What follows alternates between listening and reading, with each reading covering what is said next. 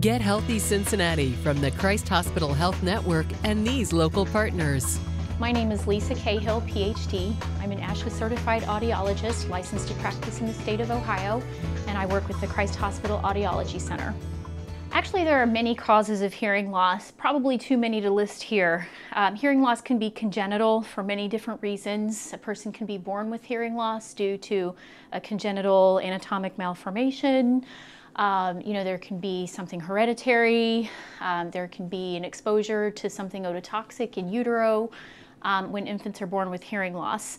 Now, um, when we're talking about postlingually developed hearing loss, whereas a person is acquired a hearing loss later in life, um, say perhaps with aging, for example, it's normal to experience some wear and tear on the inner ear over time just due to normal use. And so that's primarily, you know, the most common cause of hearing loss is when a person is just gradually losing their hearing with, with overuse over time.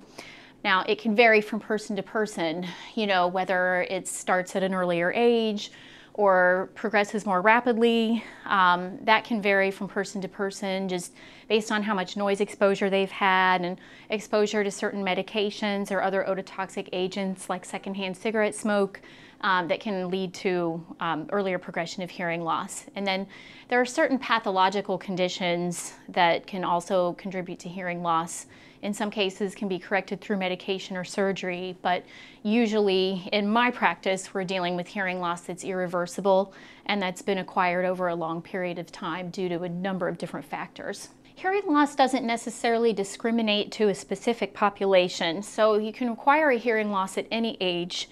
However, the most common individual that comes into the practice is someone over the age of 65 because um, I would have to say that probably at least 80% of the population over 65 has some hearing loss, whether they know it or not.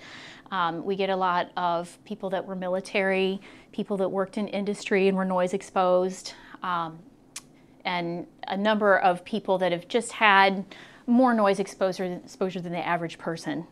So that's probably the primary population we're looking at. But anyone, anyone is at risk for hearing problems. Signs of hearing loss may be very subtle. Um, a lot of people don't notice that they're acquiring a hearing loss. In fact, I see patients every day who are surprised that they have a hearing loss.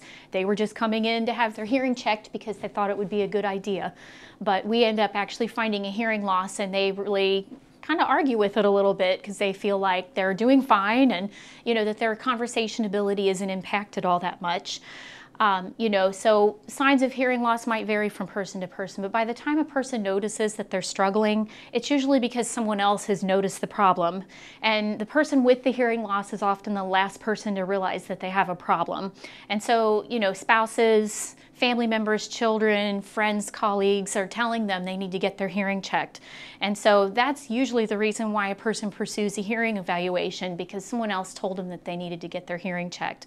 But if they are noticing that they're having a hearing problem, it's usually that in noisy environments they're losing speech intelligibility, needing to ask people to repeat what they said, and misunderstanding what someone said. And these misunderstandings can lead to communication breakdowns and eventually affect relationships. There are a number of ways a person can prevent or slow down the progression of a hearing loss. Um, usually we're talking about noise protection. So if you're not noise exposed, I would say that there's probably not a whole lot you can do, that the hearing loss is not related to noise exposure. Um, you can't necessarily stop it. There's no medication or treatment that's going to stop a hearing loss. And whether or not you pursue hearing aids, your hearing is going to do whatever it wants to do. It could get worse after you get the hearing aids. It could stay the same. It could get worse or stay the same regardless of whether you get hearing aids. So the hearing aids are more of an assistive device to help you communicate better and continue to function well in your everyday situations. Um, but preventative measures that you can take if you are noise exposed, you can wear hearing protection normally can be purchased over the counter at the pharmacy or in your audiologist's office. There are also some custom fitted devices if you have severe noise exposures, like you work with heavy equipment or you have a noisy hobby. We can take ear impressions and make custom fitted noise protection devices that'll give you more, um, more of a protection than just over the counter ear, earplugs or earmuffs. Many people use ear level devices now. In fact, studies have shown that there's a higher incidence of hearing loss in the younger populations today. And it's speculated that this is because of ear level worn devices such as iPod earbuds, cell phones, etc. And most of these devices do have a built in volume, volume limiting feature. Um, you can even passcode this volume limit. Say if your child has an iPod, you can program, you know, a passcoded volume limiter so that they can't go in there and crank it up louder when you don't know about it. Um, most kids can crack these codes today. I've learned the hard way, but um, it's good that those limiting devices are in there, that you have the, a way to limit what you're exposing yourself to. You're not going to accidentally turn it up too loud because particularly with the ear level worn devices that we have today, the earbuds, um, they don't mask out external noises. And I think the purpose is so for safety so that you can hear what's going on around you. But conversely, when it's noisy in the room that you're listening to the earbuds in, you're going to crank that volume louder to hear it over the noise. And so you're exposing yourself to louder volume levels than what you intend to and what you really mean to because you don't realize how loud it is until you take it out. We accommodate to noise too. And so have you ever gotten out of your car after you had the radio on? You were in the house for a while, then you had to go do something else. You come back out, you turn the car on, and you forget that your stereo was up so loud, and it blasts you out, and you think, I wasn't listening to it that loud. But you were, because you adjusted to the loudness levels over time, and you just kept turning it up, turning it up, and turning it up, because your ears adjust to the loudness and it craves more. So that's dangerous as well, especially in the closed cabin of a car, because those sound waves are just reverberating inside your car cabin and exposing you multiple times. When you come in to see the audiologist, there's a number of tests that we perform to investigate your hearing. So the first thing we want to know is whether or not your ear canal is healthy, your eardrum is working fine. So we do some preliminary checks to make sure everything's healthy and working properly. And then we do a pure tone test where we try to determine how loud sounds have to be at a variety of different pitches that are important for everyday hearing. And so we test those pitches that are in the conventional range of listening, try to find out what your thresholds of hearing are. And so once we have that picture of how your hearing is processing different pitches, um, we do some word lists and try to get you to repeat back words. So how loud do the words have to be in order for you to hear them well? And what percentage of words can you repeat back correctly at a conversational loudness level if you can't see our face or have any contextual cues?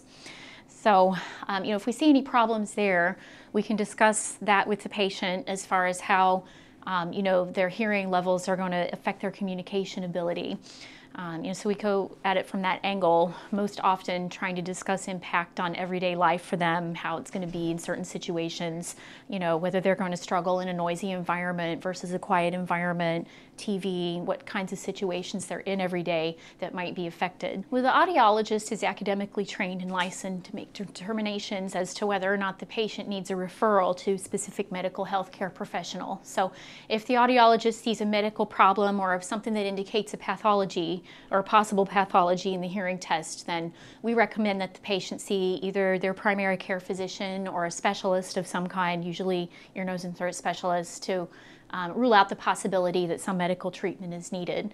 But if the physician determines them to be medically clear, at that point the audiologist would be discussing options for amplification of the hearing loss.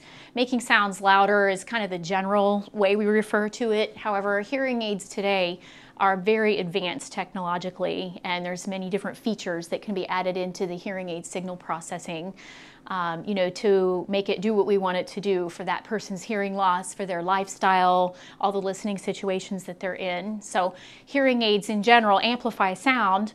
Um, there's many different styles, so you know there's different appearances of the hearing aids as far as what you know the patient wants the hearing aid to look like.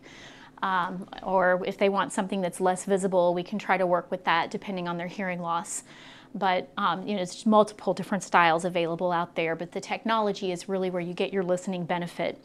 So we have more basic features that are kind of standard on all hearing aids as far as signal processing, and all hearing aids are digital now. And they all are programmed via computer interface. So we can get in there and make fine tuning adjustments to the hearing aids based on their hearing loss and what kinds of complaints they have about the way the hearing aids sound. We can really fine tune it to their listening preferences. So a lot of it is counseling and trying to figure out what the patient needs and fixing the hearing aids to do whatever it is the patient needs it to do. Um, but there's also many advanced features that can be added to hearing aids now as well. Uh, there's a lot of noise control features that gives the audiologist the opportunity to fine tune how the hearing aid responds to noise um, and extraneous sounds that maybe interfere with speech for the patient. Uh, it's never going to make it better than normal hearing, but it can give the patient a better response than has ever been possible in the past. So, um, and then even more of a step beyond, hearing aids have the capability now of connecting with external devices to make listening more pleasurable, more easy for people with hearing loss. So via Bluetooth or streaming, you can connect your devices wirelessly to your television set, your cell phone, your iPad, your MP3 player, whatever external devices you have that have streaming capabilities can be connected wirelessly to your um, hearing aids for direct listening. And so that's been a great help to many patients too, especially patients that are very active and are still doing a lot of things in life and want to be connected with others. Brought to you by the Christ Hospital Health Network, 5WLWT, and The Enquirer.